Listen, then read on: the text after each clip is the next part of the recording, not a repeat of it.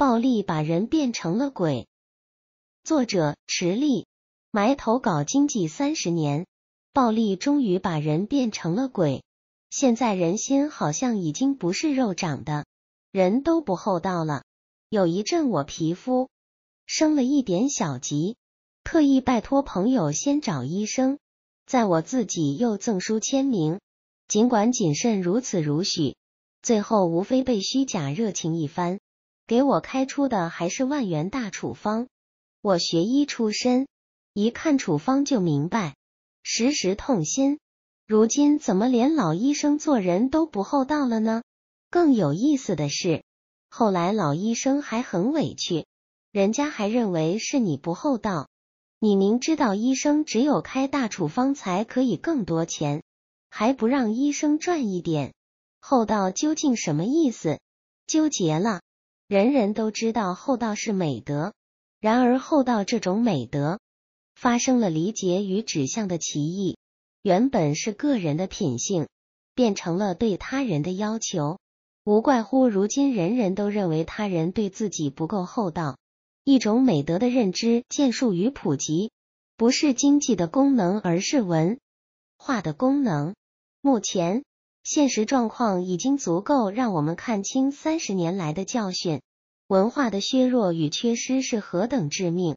我们不仅没有在经济改革开放的同时进行文化的改革开放，并且还放弃与忽略了我们原有传统文化的关注和提升。美德是可以量化的，是可以有标准的。量化美德标准最强大的文化力量有两股。一是法律，二是宗教。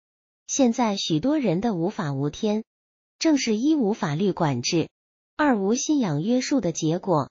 法治文化是一个大话题。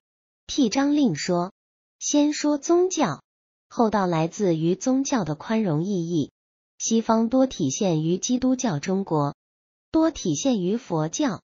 佛教中宽容意义的源头是空相。所谓无人相、无我相、无受者、无众生相，一个人只有了悟了不住相不失，他才能够达到忘我，从而宽容厚道淡定。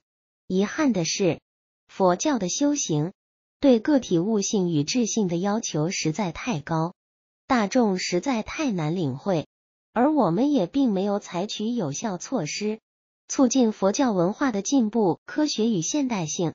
以便大众百姓能够轻易接受先进宗教文化的熏陶，求佛拜佛已经完全功利主义，只要升官发财就好。如有他人挡道，那就是他人的不厚道了。相比宽容性比较大、众生比较厚道、脾气比较温好、经济发展、社会福利都比较稳妥、安全、科学发展的国家，多是基督教。与佛教相比，基督教更具具体性。比如，彼得问耶稣：“我的弟兄得罪我，我该饶恕他几次呢？七次够吗？”耶稣回答：“不是七次，而是七十个七次。”比如，一个人应该如何与邻居相处？耶稣说：“你要爱邻人，就像爱自己一样。”再比如，人们现场捉了奸。按当时摩西法律，必须用乱石砸死女人。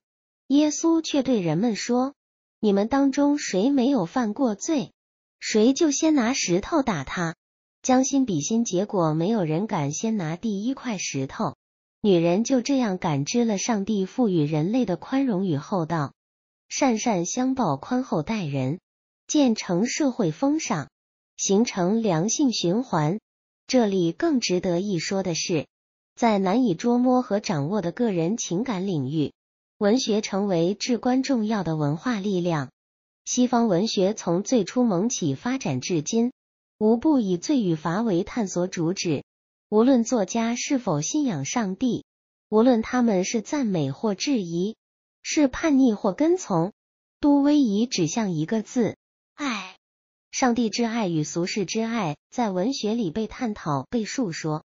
被具象化，从而成为人们精神生活的心理依凭与密友。事到如今，如果我们还是继续认定文化就是群众健身运动、社区麻将室，和楼堂馆所，实在太狭隘了。台北有一位建筑商，年轻时就已经名著称于业内。那时的他虽然颇具商业头脑，做事也成熟干练，但摸爬滚打许多年，事业不仅没有起色，最后还以破产告终。在那段失落而迷茫的日子里，他不断的反思自己失败的原因。想破脑壳也找寻不到答案。论才智，论勤奋，论计谋，他都不逊于别人。为什么有人成功了，而他离成功越来越远呢？百无聊赖的时候，他来到街头，漫无目的的闲转，路过一家书报亭，就买了一份报纸，随便翻看。看着看着，他的眼前豁然一亮。报纸上的一段话如电光石火般击中他的心灵。后来，他以一万元为本金再战商场。这次，他的生意好像被施加了魔法，从杂志铺到水泥厂，从包工头到建筑商，一路顺风顺水。短短几年内，他的资产就突飞猛进到一亿元，创造了一个商业神话。有很多记者追问他东山再起的秘诀。他只透露四个字，只拿六分。又过了几年，他的资产如滚雪般越来越大，达到一百亿元。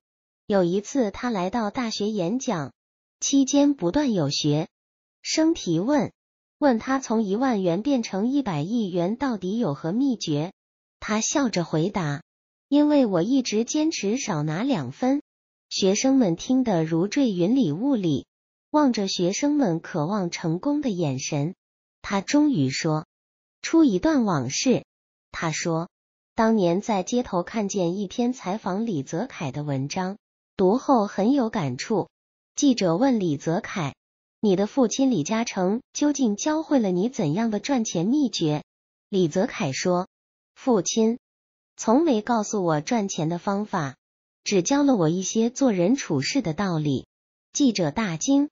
不信，李泽楷又说：“父亲叮嘱过，你和别人合作，假如你拿七分合理，八分也可以，那我们李家拿六分就可以了。”说到这里，他动情的说：“这段采访我看了不下一百遍，终于弄明白一个道理：做人最高的境界是厚道，所以精明的最高境界也是厚道。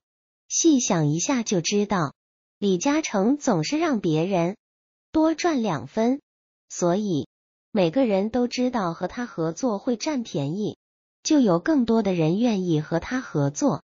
我最初犯下的最大错误就是过于精明，总是千方百计的从对方身上多赚钱，以为赚的越多就越成功，结果是多赚了眼前，输掉了未来。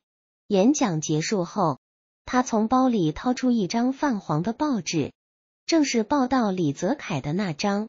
多年来，他一直珍藏着。报报纸的空白处有一行毛笔书写的小楷：七分合理，八分也可以。那我只拿六分。这位建筑商就是台北全盛房地产开发公司董事长林正佳。他说：“这就是一百亿的起点。”小胜靠智，大胜靠德，厚积薄发，气势如虹，只懂追逐利润是常人所为，更懂分享利润是超人所作。人生百年，不可享尽世间所有荣华，汇集百人，能够得到人间更多真爱。人的一生给别人借过时，实际是在给自己修路。厚道的人。你的人生路总是很宽很长。